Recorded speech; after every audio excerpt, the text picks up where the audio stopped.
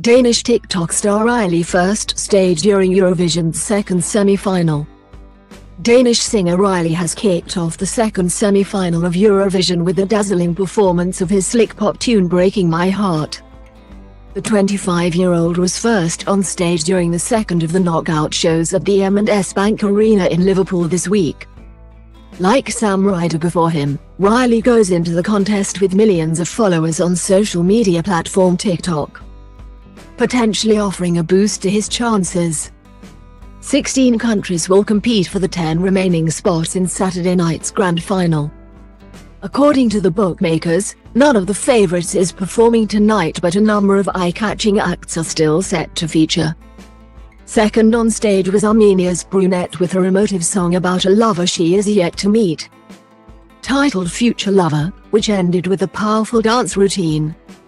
She is part of girl group Enag Jitneri, Those Girls, and also has a large social media following.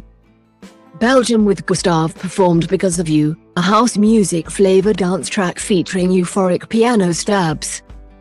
Wearing parachute pants and a wide-brimmed white hat, the vocalist was joined by backing singers with pink fans and a dancer performing a voguing routine.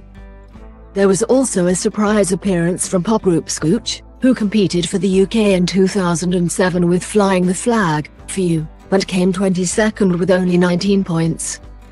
The group, known for their camp style, was seen dressed in flight attendant outfits handing out voting cards to the audience.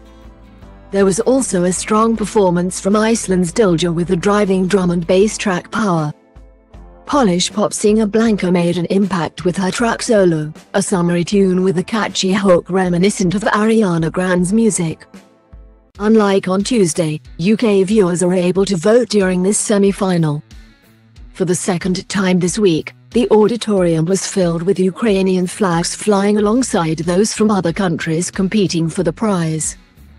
Hosts Alesha Dixon, Hannah Waddingham and Ukrainian singer Julia Sanina were also back on stage after making their debut as a presenting trio on Tuesday night. Not visible during the TV broadcast will be the rapid work of the stage production team who have around 60 seconds to change the sets between songs.